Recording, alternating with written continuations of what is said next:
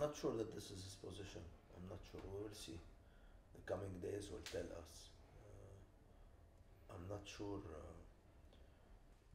What's he like, if you don't mind me asking, Mr. Azour?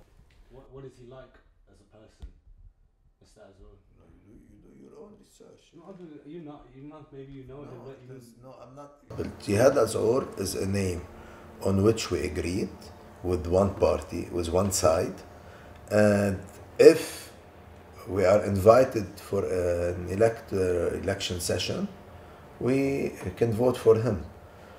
But will this make him a president? If the other side does not agree on him, unfortunately, no. No, I'm not, frankly, I'm not in a position to defend the profile. No, I don't think uh, that the parliamentarians are doing the needed efforts. You know, uh, we are uh, dealing with an exceptional situation as if it is normal, whereas we should uh, keep on having intensive talks to reach uh, such a consensus which I believe is much better for the country, which will help the president to succeed and help us have a plan put in place for salvation.